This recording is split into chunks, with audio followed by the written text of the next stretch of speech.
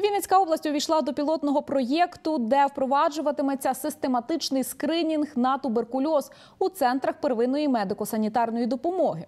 Пілот здійснюється в межах проєкту USAID підтримка зусиль у протидії туберкульозу в Україні, що виконує програма оптимальних технологій в охороні здоров'я. З нами на зв'язку Тетяна Бондаренко, заступниця директорки департаменту охорони здоров'я та реабілітації Вінницької обласної військової адміністрації. Розкажіть детальніше про пілотний проєкт, що він передбачає. Вінниччина війшла у пілотний проект по проведенню скрінінгу на захворювання на туберкульоз населення області. Проект е, впроваджується в рамках е, проекту USAID підтримка зусиль у протидії туберкульозу в Україні і е, виконує цей проект міжнародна організація ПАС. Крім Вінниччини, війшли ще три області України: це Волинська, Рівненська і Київська область. В рамках цього проекту е, будуть е, відпрацьовані саме алгоритм з проведення скрінінгу групам ризику, медичним працівникам, е, е, вимушено переміщеним особам, які зареєструвались у Вінницькій області. Хочу зауважити, що туберкульоз на сьогодні це хвороба, яка лікується якісно і ефективно.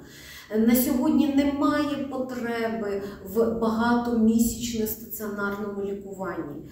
Практично з перших днів прийому ліків, які призначаються лікарями-фтізіатрами, пацієнт вже стає безпечним для оточуючих.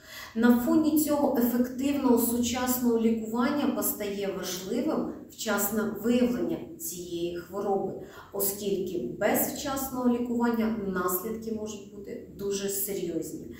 Тому медики Вінниччини будуть впроваджувати цей проект е, в, на базі чотирьох центрів первинної медико-санітарної допомоги: це Могилів-Подільський, Ямпільський, Чернівецький. І задіяна в проєкті лабораторія Могилів-Подільської окружної лікарні інтенсивного лікування.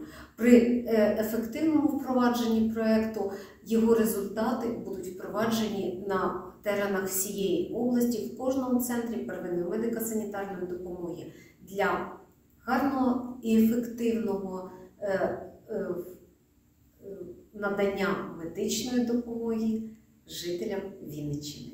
Яка кількість хворих зареєстрована у Вінницькій області? Е, Хвороба е, залишається актуальною.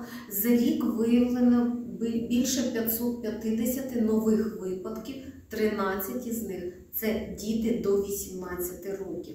Тому скринінг, а саме вчасне виявлення цих хвороби є важливим.